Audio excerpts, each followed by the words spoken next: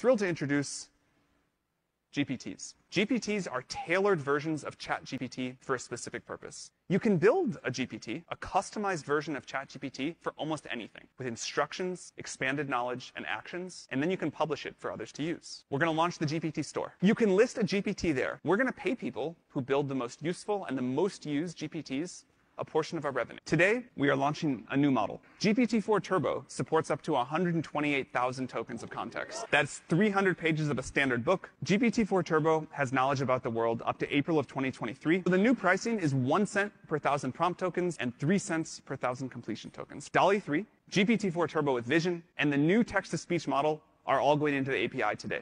We have a new feature called JSON mode.